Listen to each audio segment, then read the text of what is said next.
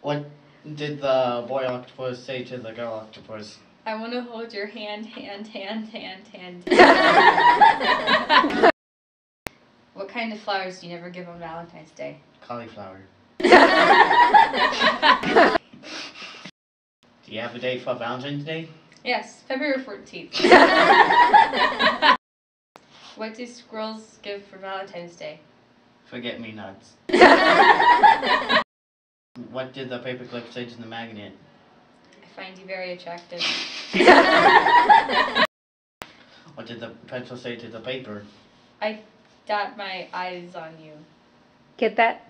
Mm. I dot my eyes on you. Sounds creepy, kind of. I got one more. Oh, what is it? What's a heart's favorite vegetable? I don't know. A bee.